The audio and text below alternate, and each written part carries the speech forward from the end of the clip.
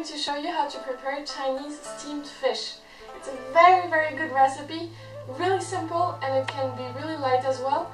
I personally put a bit of oil in it but you really don't need to, which means that uh, it's a recipe that would end up having no fat at all, which is great.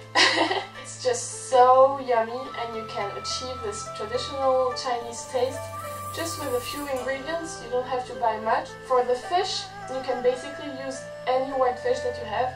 I have used Colin fillet before, I have also used sea bream. Both were delicious, so feel free to try whatever fish you like. I also included a bento tutorial in this video, so I hope you will like it, I hope you will try it out, and don't forget to tell me if you do. Bye! You'll need soy sauce, ginger, chives or green onions, garlic, and of course, your fish. Can you see? I drew a koi carp on my nail. Do you like it? I'll be showing you pictures of the same recipe. These pictures were taken when I learned cooking this dish for the first time. It's a bit different from what I did, and it was better. You can see that my mom used green onions, I couldn't find any so I used chives instead. I made a mistake and I used all the garlic. You actually don't have to use that much. That was pretty garlicky. but I love my ginger, so if I could put more, I definitely would. I think you're starting to understand that this recipe is all about finding the proportions that you like and that suit you. I'm trying to make my fish stand as flat as I can so that it will cook everywhere. Now let's add the soy sauce. Mmm, yummy.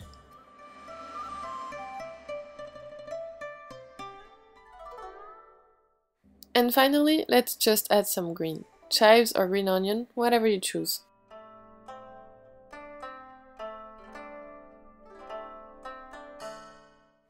Now the cooking part. You just have to steam your fish for 15 minutes. Don't forget to put the lid. When the fish is almost cooked, I start heating some oil. And when the fish is done, I add the oil to the fish. It makes a beautiful sound and gives a lot of flavor.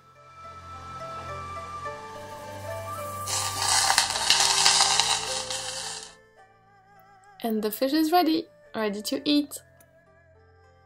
Your whole kitchen should smell really really good at this point.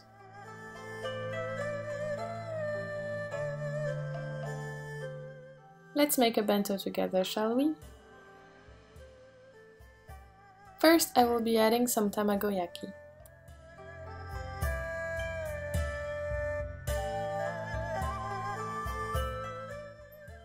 And then cherry tomatoes.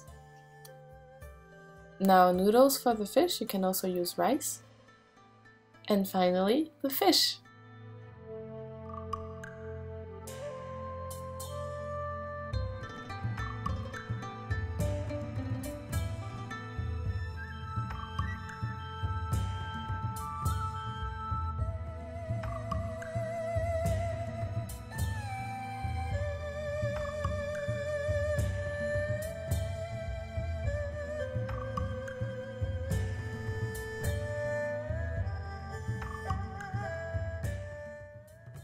Can pour a teeny tiny bit of sauce. Add a slice of lemon because it's pretty and it tastes good.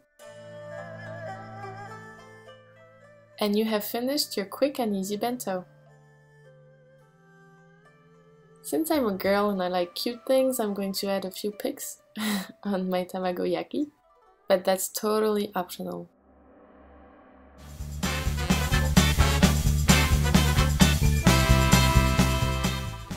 We are now ready to take our bento for school or for work. Bon appétit!